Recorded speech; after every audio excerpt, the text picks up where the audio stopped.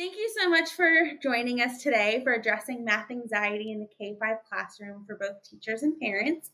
My name is Megan Hunter, and I'm joined by Bethany Lockhart Johnson. I am part of the Amplify team, and we're sponsoring this event because I get to Amplify work with Bethany Lockhart Johnson. She is our co host on Math Teacher Lounge with Dan Meyer.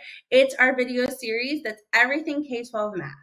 So Bethany is an educator of primarily elementary school, which she'll talk a lot about in this webinar, and she's also an author. And prior to serving as a multi-subject teacher, she taught theater and dance and loves incorporating movement and creative play into the classroom. You all are going to see lots about this during this time. One of the things I love about Bethany is she's committed to helping students find joy and discovering their identities as mathematicians. You're really going to walk away from this feeling Bethany's love for mathematics. She is um, also, in addition, additional roles to outside of Math Teacher Lounge. She's a Student Achievement Partners California Core Advocate, and she's active in many national and local mathematical organizations.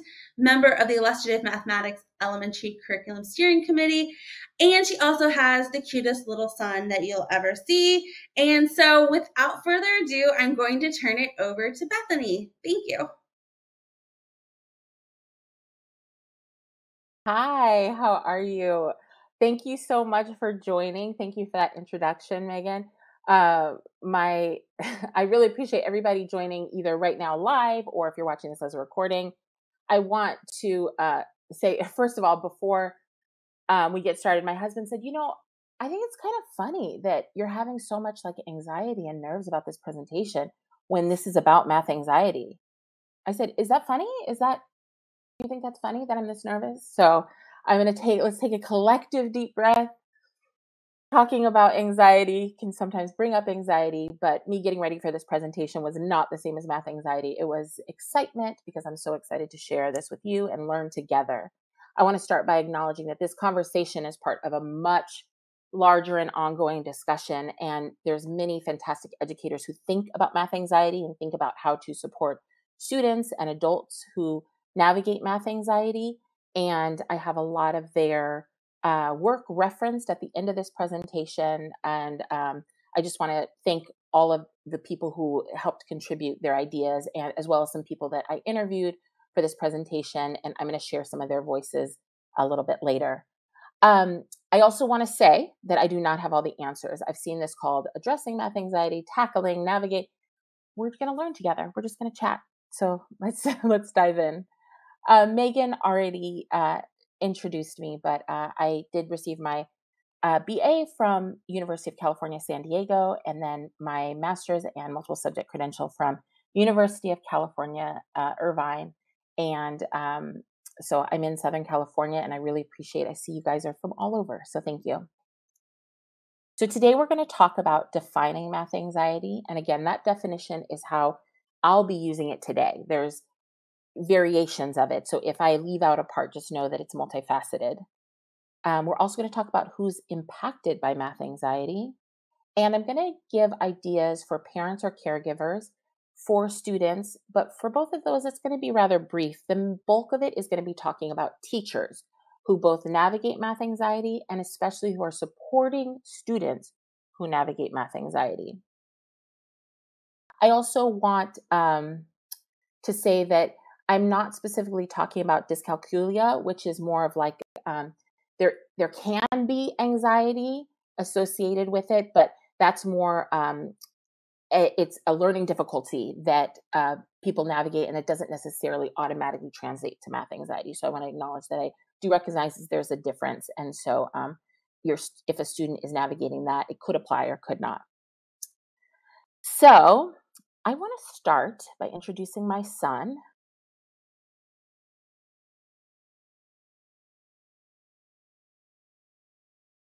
This is my son. Um, I'd like to say it's time lapsed. No, it is time lapsed. But this little bundle of energy, this is him after we uh, went to Home Goods. That's usually my reaction after I go to Home Goods. And he, um, you know, I I really I love reading to him, and I love thinking about ideas to engage him. And I found out, by the way, that video you can set to any soundtrack and it works. So I've tried out a wide variety of genres. So I was in Home Goods. They have a huge uh, book selection, board book selection, which who knew? And I'm probably not always going to preview my kiddo's texts, but I was looking for a couple bo- books to get him, and I came across this You Be Mommy.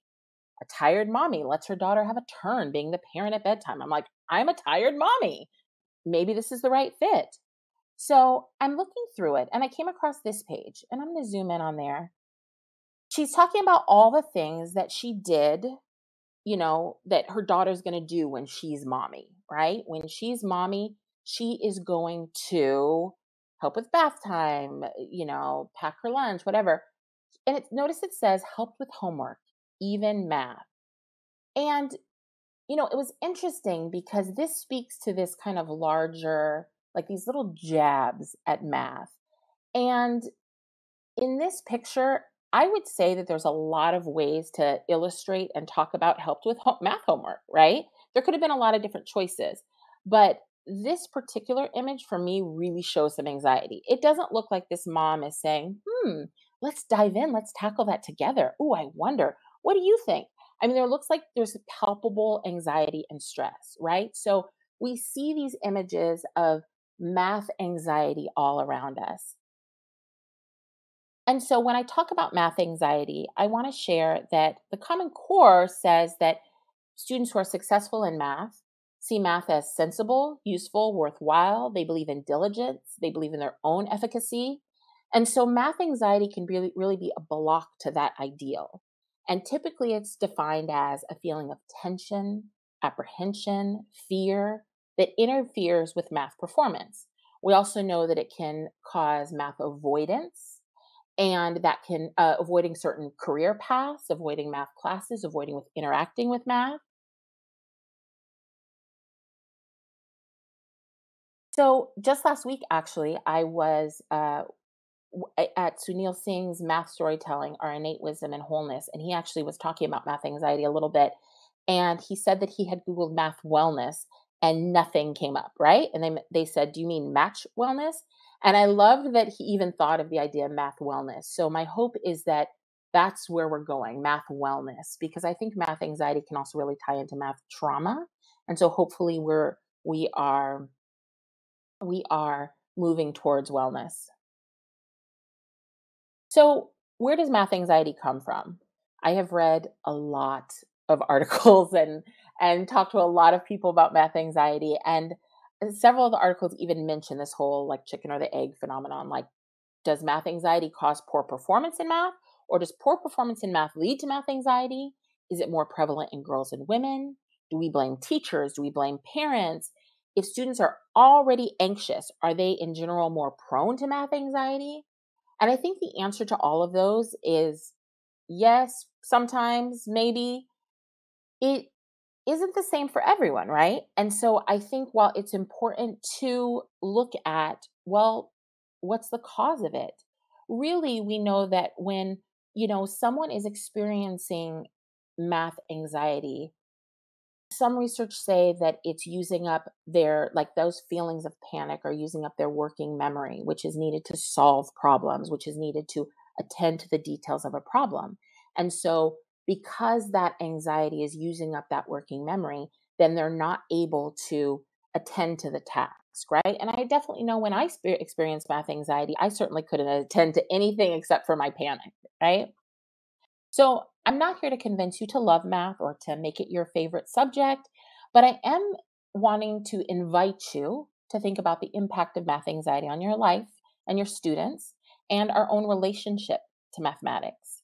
And as I was reading about it, there's tons of screenings for math anxiety, right? And this is just a quick snapshot of six that are typically used with younger children. Oftentimes, researchers, you know, they would use images. So you are in math class and your teacher is about to teach something new. So, which of those looks like anxiety? They all kind of look like anxiety to me, but it's, you know, uh, typically researchers have studied math anxiety in college students and adults because it's typically, or high school students, it's easier to kind of attend to this idea of anxiety. And they thought, well, it really starts when they're older. It really starts when students are in high school and middle school. But more and more researchers are starting to focus on younger kiddos and they are looking at how can we, you know, at, how can we com- have kids communicate what those feelings are, what that feels like to those students. So, some researchers, Ganley and McGraw, were um, uh, were very interested in um, working with younger children, and so they they used a scale that had been out there for a while, and they added some items. And some of these items were I get worried before I take a math test, my heart starts to beat faster, I get nervous. And so, really trying to understand how students are feeling and feel like they can talk about their math anxiety.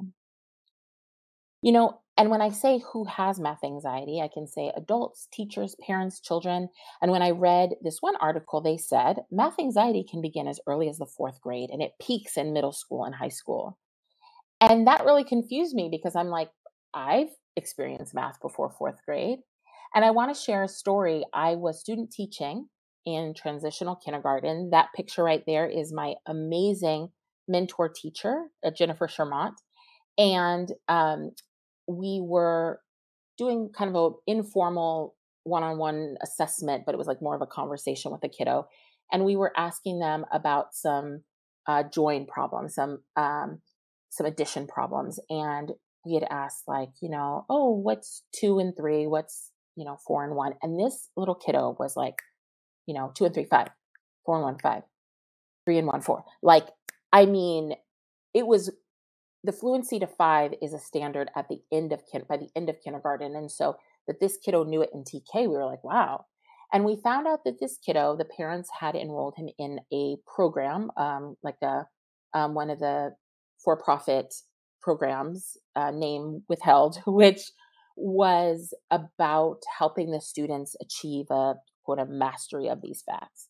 So we asked them, my, my mentor teacher said, you know, I have these blocks here. Can you show me what two and three looks like? Two and three together. If I have two and I give you three more, what does that look like with these blocks? And the little boy broke down sobbing. I mean, sobbing. And you could see the palpable fear. And it was that moment of that like conceptual, like he had the script two and three is five, four and one is five but he wasn't able to yet do that conceptual. There's that missing part, right? So I don't want us to think that our youngest students can't experience math anxiety. Somebody else who has math anxiety is little Billy. The new principal hasn't made much difference. We still have math. Like that's the message in Family Circle. that's what the principal is supposed to be working on. Again, those little jabs, they get to me, right? So, I want to talk briefly about uh, bringing some voices of parents, caregivers, and other adults. But first, I want to play a short video for you, a 30 second video. Uh, well, so uh, here's the headline Skylar is one cool kid. Trust me, uh, he gets that from his mom. oh, sweetie. well, first of all, we want to thank you for teaching our son to love reading. Yeah, he reads every night now. It's it's it's amazing. Well, I mean, he's a smart kid. You know, uh, the reading part was easy. Okay, uh, the math stuff, however, he, he's having a tougher time with. You know, especially fractions. Right. Yeah. Now that he got from me. so the rest of that skit goes in a very different direction. But I wanted to pull out that because, again, those messages are everywhere. And I think they really impact the way we think of math. And part of why that's supposed to be funny is that, you know, here's this guy saying that somehow math ability to, to um, make sense of mathematics and to feel successful in mathematics, that you somehow inherit that, or that somehow that if, if your parent's not a math person, then sorry, you're out of luck, right? And as a teacher, I often heard that in parent teacher conferences. So parents would say, Oh, but I'm not a math person. I'm not a numbers person. And I think what is so interesting about that is that it it almost came out just without even thinking. They wouldn't say, "Oh, I'm not a good reader," or "Nope, reading," you know. But for math, they felt like they they could. So a couple of voices I want to bring. Um, all the names of the interviews I'm going to share have been changed. So these are parents or caregivers so Renee says she feels like she's had math anxiety her whole life. Homework is a battle every night. My daughter asked me for help with her math, and it feels like I'm in school all over again. And math now isn't even taught how I learned it. Every time I try to help, she just says that's not how her teacher wants her to do it. Homework time usually ends up in tears, hers and mine. Sasha, I was working at a clothes store. They had me on the register, and I thought it would be fine because the machine does all the totals and change. But then one day, a customer kept questioning her total. Her clothes were on sale and were 15% off. She kept saying it was 15% off and 20% off with her coupon. She was telling me it was 35% off the whole total, but no matter what I entered, I just kept getting a different number than what she said, and she was so mad. There was a long line, and I felt like my brain was just frozen. My manager finally had to come and rescue me, and I mean it when I say rescue. I felt like I was going to pass out. Andres, father of two. I am not a math or numbers person. When I was a kid, I was pulled out of class a lot because of my asthma. The school gave me tutoring when I came back, and I could do problems with the tutors, but when they'd give me more of the same type of problem, I'd just choke. I went to summer school, but the teachers I had there didn't seem to care much. It was just an easy pass for credits. Math is the number one reason I don't have a college degree. I just couldn't cut it in college math classes and I had to take them for my GE. And when I talk to parents or caregivers, adults, uh, again and again, I hear this theme of an alienation from math, that they're not a math or a numbers person. They, they convey that there's some special identity for those for whom that like math comes easily for this one group of people. A fear of navigating math in public spaces, including avoiding navigating numbers, budgets, bills, I want to bring in some student voices. This is Carrie. She's now an eighth grader, but she was reflecting on when she was in fourth grade. Math was after lunch, and I hated it so much I sometimes would get a stomach ache. Sometimes I'd get to go to the nurse office even if I just felt fine. I'd say I was sick. I'd miss math and it was good, but then when I came back, I didn't know what was going on, so it just got worse and worse.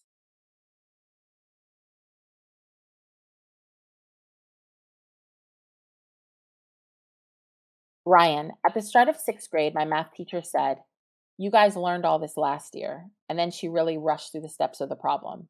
I had no idea how she got the answers. I guess I was supposed to learn it in fifth grade, but I hadn't. I didn't want to raise my hand to ask. And there was one more voice, um, which, sorry, I did not make it in. I want to make sure I share that uh, Carlos's voice, another student said that he would just write the numbers in into the homework and the teacher would come around and just make sure it was like complete and not actually there was no check for understanding there was no application of the homework into the lessons and so he felt like this wasn't about sense making right? This was just busy work. This was just something to do to to get the grade and so students often recount a moment of math trauma or multiple moments they see it as something they just have to get through they're told not to use their fingers or tools no memory of a lesson or strategy that's been taught. They remember teachers who privilege certain students or students' ability to serve to solve problems quickly. And finally, I want to share some teachers' voices.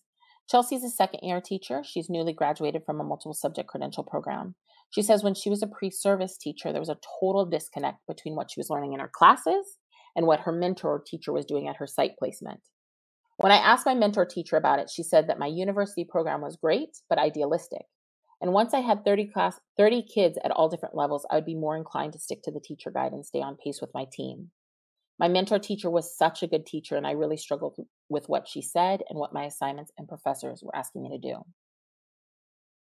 Dustin, he's a seventh, seventh year teacher and he says he's always taught by the book and he tried to do something new after they had a PD in school about student led discussions. So I got observed last year, and the principal came in right during math. I was trying to do a share out of student solutions, and I had no idea what the student had done to solve the problem. In that moment, my class felt like total chaos, and I had no idea where to take the lesson next. And finally, Marissa, fourth grade teacher. We were in a teacher training about our new math curriculum. We had to find the tens in 430, 430. I said three, and I got it wrong. It was 43. For a second, I could not figure out what I had done wrong, and the rest of my team seemed totally fine with the problem. That's not how I learned or taught tens in the past, and it just is a new way to think about numbers. I feel like that's the whole book, asking us to look at numbers and problem solving in a way that's completely different from how I was taught to teach math. I'm not saying I'm not open to it, but I guess I'm just really struggling to make sense of it. And I'm supposed to be able to get up and teach it to students. How do I do that if I don't get it? And themes I hear from teachers they dread teaching math or professional development that's focused on math. They have a sense that they don't know enough math in order to venture away from the textbook, frustration with changes in math curriculum, and uncertainty about how to support students who dislike or struggle with math.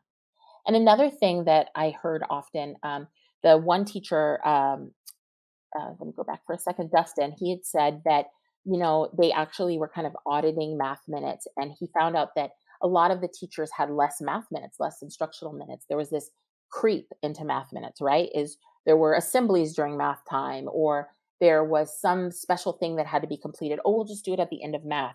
And so actually the creep was happening where those instructional minutes overall, while it may have been a couple minutes here and there, really added up over the course of the year. And those minutes add up.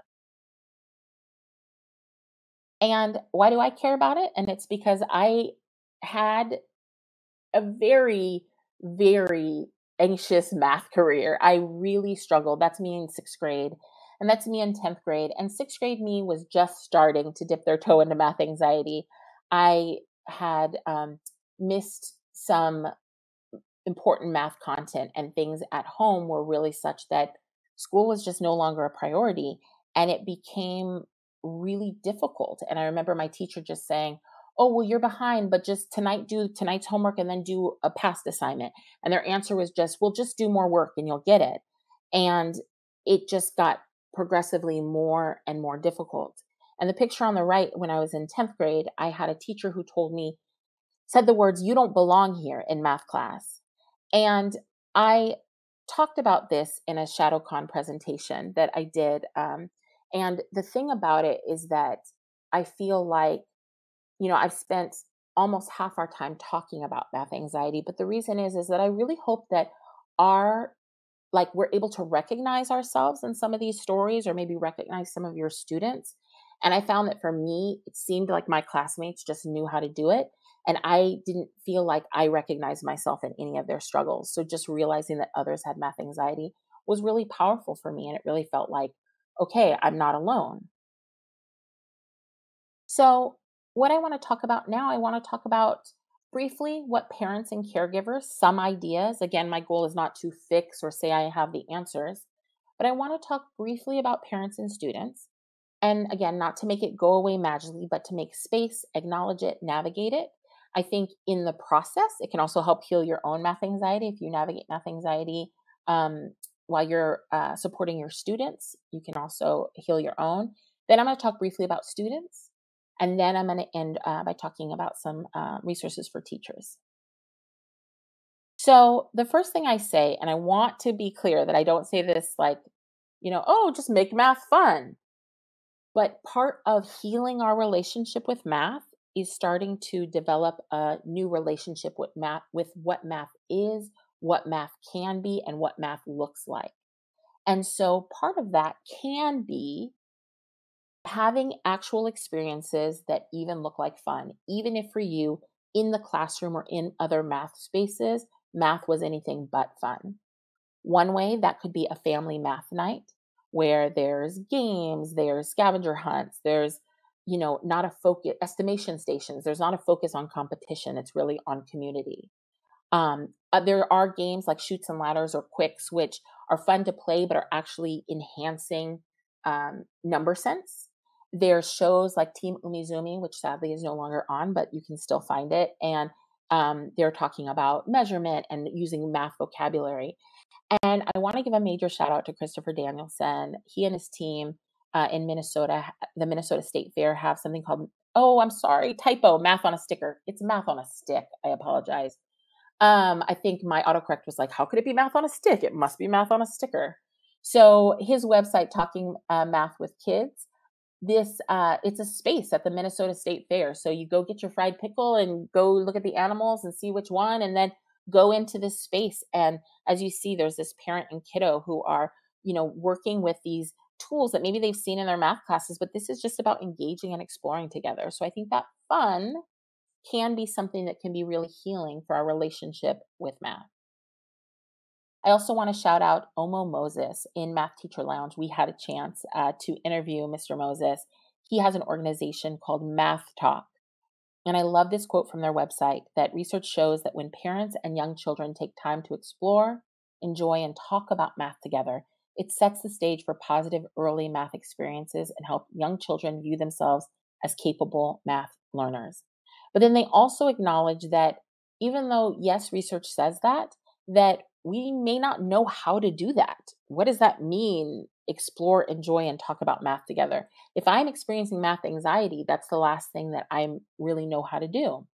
And so, their organization, they have some online tools as well as some apps that you can, an app you can download where you can take public spaces. Like here's a picture on the left of a park, and you see that they've the app has helped you like kind of see it in another space where these shapes like how would i interact if this space had this circle here these shapes and um, mr moses also has a great book called sometimes we do and in that book a family is talking about ways that math shows up in their life and you know again while every parent they say math talk while every parent might want to ensure that their child's earliest math learning experiences are positive understandably many simply don't know where to begin. And that is a totally like normal and, re- and reasonable thing. And in that picture there's they have this one task that's a gigantic number line that you can make so you can see how long is it how many steps do we get to school. And these can be ways that you're reframing and again healing your relationship with math i also want to um, give a shout out kristin gray an amazing educator. She's the former director of the k 5 curriculum and professional learning at Illustrative Mathematics. And they did this beautiful project during uh, the you know remote more remote learning and it's called talking math. And so every day they have over 100 images. They have an image like these oranges and then they have ideas and this can be for educators but also really i'm highlighting it in the parent space because it, it can be for parents so how many do you see how do you see them and you are talking about quantity. You are having students share what they notice, but it's not about a right or a wrong. It's about noticing. And so, depending on what grade your kiddo is in, you can start there. You can jump to another question. And these type of things that are out there and are free are a way, again, to dip your toe into math and into reframing what math can look like without having to you know enroll in a in a in a program that's to you know be a drill program or say you know i have to automatically totally reshape my experience my relationship with math.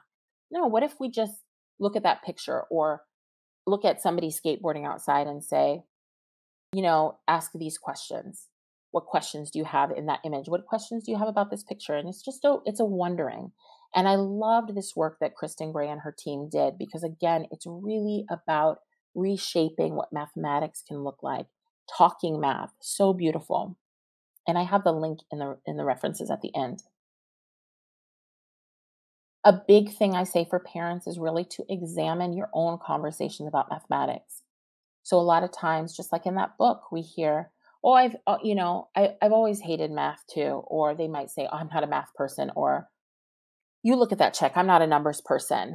This isn't how I learned it. Why did they change math? And these little comments can really impact the way that we internalize our own relationship with mathematics and the way that our students, our children, excuse me, hear us relating with mathematics. Again, you don't have to pretend it's your favorite subject, but just notice, okay, by me telling my student, my kiddo who is, you know, having trouble navigating this assignment, am I actually you know, helping if I say, don't worry, I'm not a math person either? What message are they getting about their abilities and their own self concept? I want to flag again Renee from our, the beginning of uh, the presentation. Renee was talking homework is a battle every night. Homework time usually ends up in tears, hers and mine. I want to take a moment to talk about homework. I am definitely somebody who assigns homework to my kiddos. I think there can be uh, benefit from homework. But I want to say that one thing you don't have to know how to do all the homework. You can seek out community resources. I didn't know that the library right down the street from me gave homework help for free, or that the local community college had homework help for free. If you can, communicate with your child's teacher about what's going on. And I say if you can because I have met parents who have said, you know, my teacher doesn't seem receptive, or I've emailed the teacher and I haven't heard back. And that could be for a variety of reasons, but it's worth trying if you haven't yet communicated with your child's teacher about homework or about what you're navigating. And then another thing I want to say is avoid the homework battles, even if that means sometimes you opt out. And I say this because I have had experiences with parents where they've told me that they, again, just like Renee shared, that they were in tears. They were crying. Their child was crying. It was a battle. And cultivating and maintaining a positive relationship around math and schoolwork in general is so much more important than one assignment. And as a teacher, if a parent ever came to me and said, you know, we we didn't complete this or hey you know is there some other way that i can engage with my kid around math because this isn't working it's a battle every night? I would be so grateful that they shared that with me.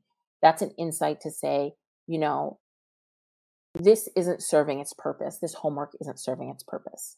So while i do think homework can be valuable i think it also can be a space to opt out. Students so if you're a student, I encourage you to examine your own story and feel free to rewrite it. You know, that teacher who said, you don't belong here, they could have meant like, hey, you know what? I want you to be in a class where you feel like the content is more aligned with where you're at so that you can really feel successful in math. But the words they say said were, you don't belong here. And the story I made that mean was, I don't belong here. I don't belong in mathematics. I don't belong in this class. I don't belong in this space. I can't do this. So I needed to examine that so that I could then reframe it for myself. Like, what would it look like if I do belong here? Where do I belong? And how can I start carving out that space for myself? And I had to acknowledge that that was deeply painful. Not only that experience, but then other experiences I had with math trauma, with math anxiety.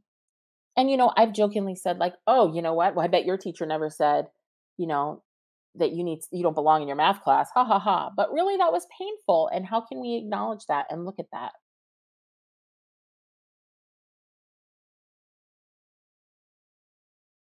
Um, another thing, and you don't have to read all of this. This is basically saying that, you know, that there's researchers who showed that t- writing about your math experience was incredibly powerful before an exam, before a class, freely writing about their emotions for 10 to 15 minutes regarding an upcoming math exam. Again, it it actually served, they think, to free up some of that that working memory.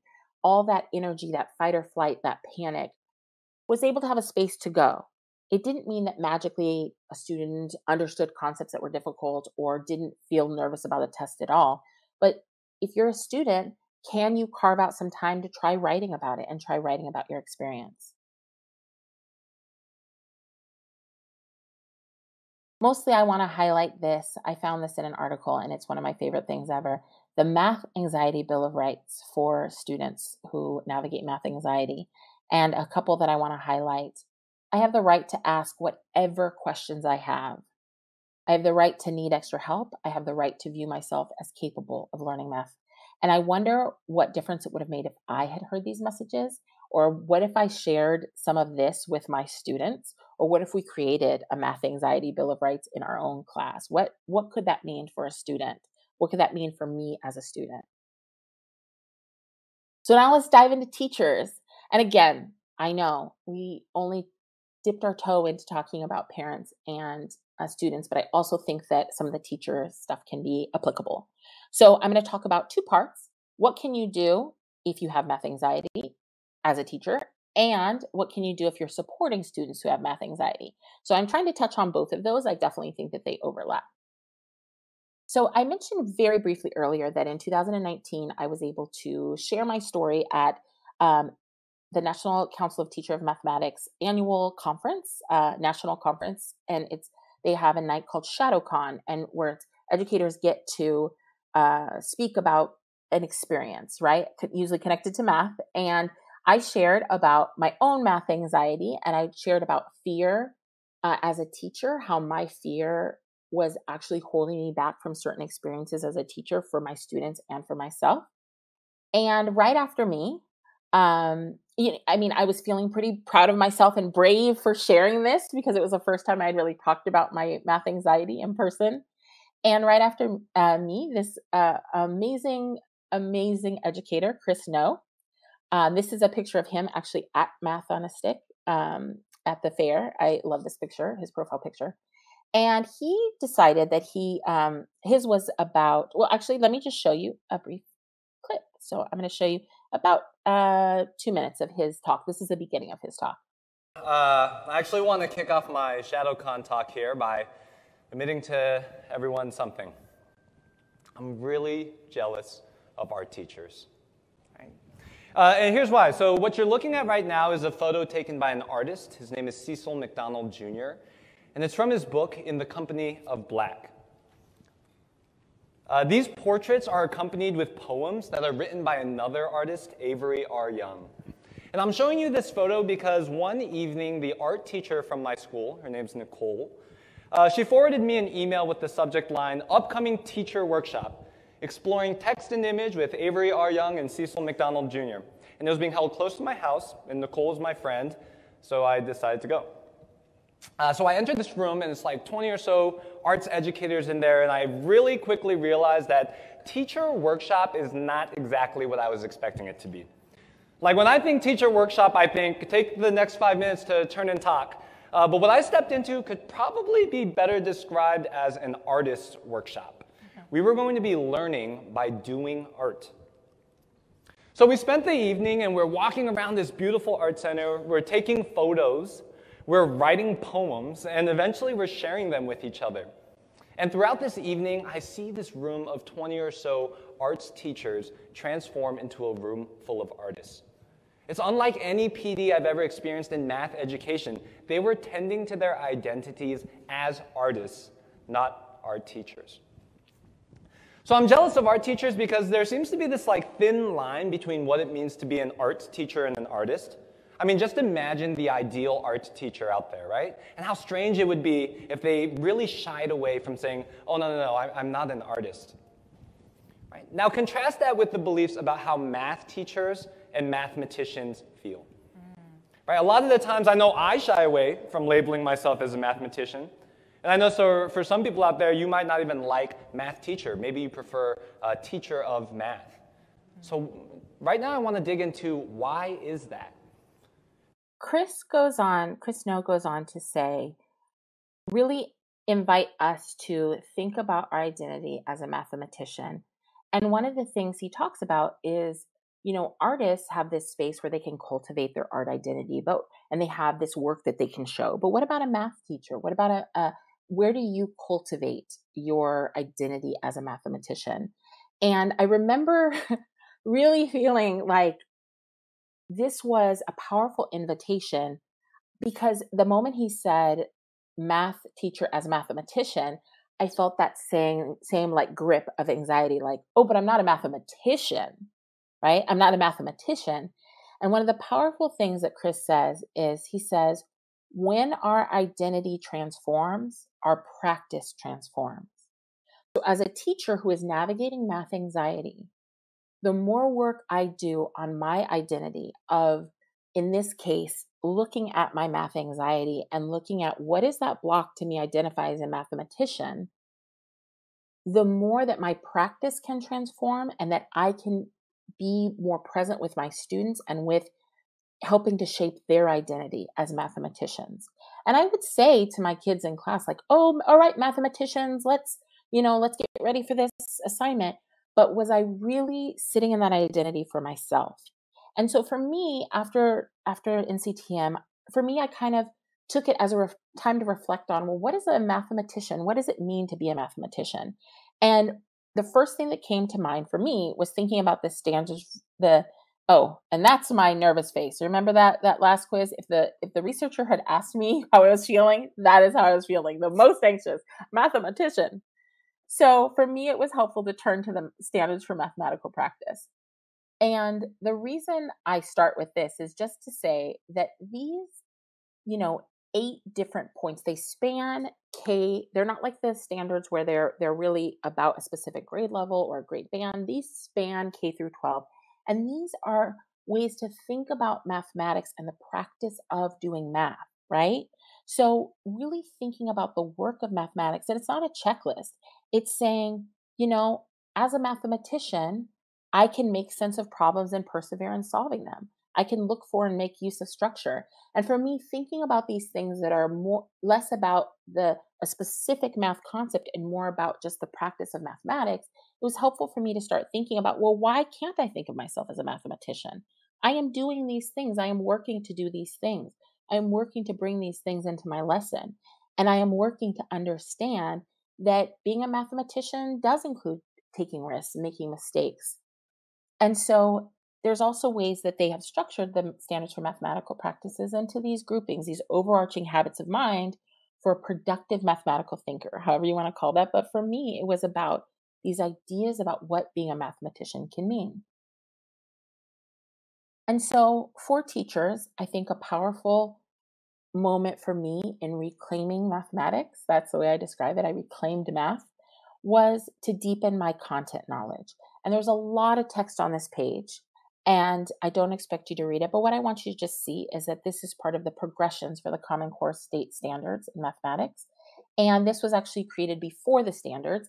And it doesn't necessarily anymore directly align with standards, but it's thinking about the way that students make sense of math concepts, the way that they develop these ideas conceptually, um, the way abstractly, the way that they work through a concept. So you see there's progression on geometry, measurement and data. And for me, it was really helpful to dive into these when we started a new unit. And I didn't, it's not like I did this every time, but let's say um, a unit on um, uh, if I was teaching a unit on on geometry, it was helpful for me to kind of think about where do these conversations go go in geometry? Where what is the progression that these students are working towards? And again, just dipping my toe into that. And I say that a lot because for me, that's a way of me thinking like I don't have to like totally dive in and submerge submerge myself. I'm just going to check it out and see. But I want to flag that in case you had never heard of it because the progressions were a way for me to help make sense of some content knowledge. I frequently hear that math that math teachers feel like they are missing math content. They're missing you know, oh, I'm not good at math or I don't feel confident enough like Dustin was saying. He had always taught by the book, right? He had taught by the book. And so for him deepening his math content was a way that he could start feeling more confident in trying um, trying new things in his class. Same with Marissa. She said, you know, I had to relearn, I had to learn how to think about tens in a new way. I also want to share um, Achieve the Core has a wonderful site called the Coherence Map. So I have a really quick little video I'm just going to talk over. So the Coherence Map, if you dive in, you can select your grade band. So for this case, I'm, I'm selecting kindergarten. And it has the major work of the grade and the supporting standards as well. So looking at um, looking at one of the major clusters, I can look at what standards support that and where does it go. So after kindergarten, in this number number and operations in base 10, that's starting to think about place value. I can think, okay, here we are in kindergarten, but this is where it goes in first grade. This is where it goes, you know, if I want to map this standard to, this is where it goes next, right? How do I think about place value in kindergarten matters how my students are going to understand and make sense of place value in first grade, in second grade, in fourth grade. And then I show you the progression all the way to fourth grade, right? Thinking about fractions, well, thinking about the way we work with whole numbers is 100% going to think going to impact the way we work with fractions. And so for me, looking at the coherence map is another way to deepen your content knowledge. And again, I do not think it's going to be every single every single new unit I have to dive into all these resources. What I want you to know about is that they exist. And so if there's an area that feels sticky or that feels like I have a lot of anxiety around, uh, a lot of teachers I talked to said fractions was, was when they started to panic. Well, can you go to the progression documents or can you go to the coherence map and look at the way that these previous previous standards build to fractions and that you can support students because if students have um, content that they you know i hear a lot about missing content especially being remote learning and Instead, it's like, well, it's just unfinished learning, right? Like there, we may need some more support. And that doesn't mean I go back and teach all of first grade again, right? In fourth grade. But it means I can say, oh, I can support with these concepts here to help them understand these current fourth grade standards because I want what I want to teach for all of my students is that grade level content. But I recognize there's going to be support needed. There's going to be scaffolding needed. I have students who have a wide variety of, of backgrounds in math. So, another invitation and a way to deepen your content knowledge is to learn alongside. For me, it was really important that I started building a community of people who are thinking about math. And I want to highlight Theresa Wills. She has uh, Mather Days. Math's so fun. We do it on Saturdays. And it's funny because when I went on her site to grab the screen screenshot, it was um, ratios and rates, right? That was November 6th. I did not attend that that Mather Day. But I got to tell you, I felt that like I don't know anything about ratios and rates, you know, or not enough to to certainly feel like I could talk about it with with uh, any level of confidence or know what questions to ask. But this is a space where I could go and just kind of just participate as much or as little as I want to, right? And just help deepen my content knowledge, learn alongside, which is a whole variety of of topics and a lot from the past that you can go back and and uh, view again another uh, space to help build that math community because I think it's so important to build that community and those allies and that space where you start re repairing your relationship with mathematics and, and re-envisioning what that could look like. You can join in the conversation or just lurk on Twitter, MTBOS, Math Twitter Blogosphere, or Elementary Math Chat. Those are two, there's tons of math hashtags, but these are two that I think can have really, really interesting conversations and a way to see how other educators are um, you know, thinking about math, how they're navigating sometimes their own math anxiety, sometimes they're just being, you know, they're they're just sharing things they did in their classroom. They're asking questions. I've posted student work uh, with permission that didn't have, you know, that I said, can you help me make sense of what this student is doing? Um, I want to I want to really understand and help dive in because I think I'm going to use it for a share out. Uh, and so just peeking at the last couple days, even I mean, these are some of the if you look at these images, there's like invitations to participate. There's Zach Champagne, another another um, edu- amazing educator who's thinking about student sense making. And you know, you look at these and you're just like, there's such a variety of experiences that folks are having with math. It would never occur to me to carve math onto a pumpkin, but I really liked seeing that picture. And you know, there's ways to engage. And so, if you haven't participated in in any of these hashtags, I, I invite you to follow them. Um, I talked earlier about writing and making space for your own math story. I just want to highlight that again because I just think it's so important that we as teachers recognize that we have we bring that story into the classroom with us. And that's also transitioning into thinking about students' math story, right? So in the article Math Curse or Math Anxiety, they ha- recommend a math survey and some of the questions that you could give to your students Compared with other students in my class, I feel that I do better, worse, about the same as they do in math class. I think that my parents like or dislike math. Explain your answer. My best, worst experience in math was when. If I could change one thing about my math class, it would be. And um, a friend of mine said that her son came home with an assignment, was asked to do a mathography. And the questions were really about their experience with math. And it was talking about recognizing you're coming into my class, her son's in high school, having a history with mathematics, and I want to know about it. And I think, you know, there's such power in acknowledging your story, but also in having your story seen. And so for a teacher to say to me, like, hey, I want to know about what your experiences were with math. I want to know what our, like, let's shape our experience together. I think can be so incredibly powerful. And when I have asked my students about what math is, um, especially when I have kindergarten students, it's so interesting how some of them already have these preconceived notions, right, of mathematics and what it is. And so it's great to be able to make space for that in your classroom.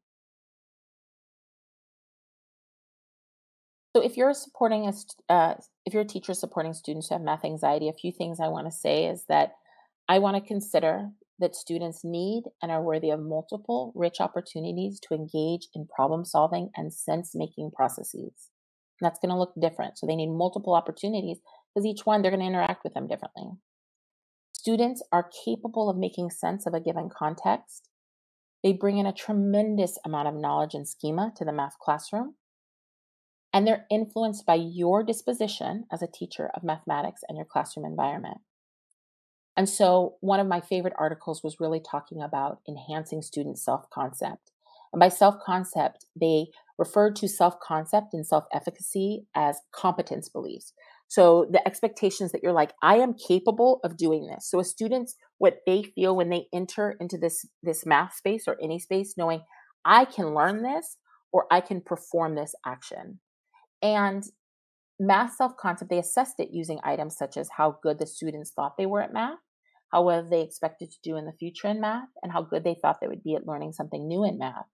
And sadly, and not surprisingly, the researchers found that lower levels of math self concept correlated with higher levels of anxiety, and higher levels of math anxiety correlated with lower levels of self concept, right? And they had a direct impact with each other.